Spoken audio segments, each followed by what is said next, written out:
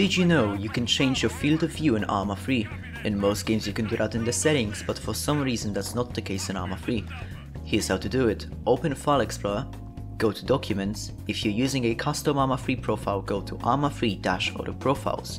If not, go to Arma 3. Open the file called yourusername.arma3 profile in Notepad. You do that by pressing right mouse button and selecting Open With. Press Ctrl plus F. In the window, type FOV. These are your field of view values. To change them, you need to use a calculator.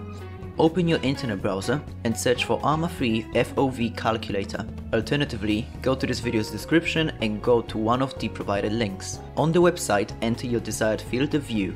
Next, enter your screen resolution. If you don't know what the resolution of your monitor is, open Windows Settings. Head to System and the first tab displayed will be Display. In here you can see your monitor's resolution.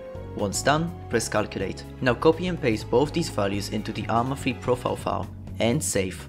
Congrats, you have changed your field of view. Comment any requests you have for other tutorials.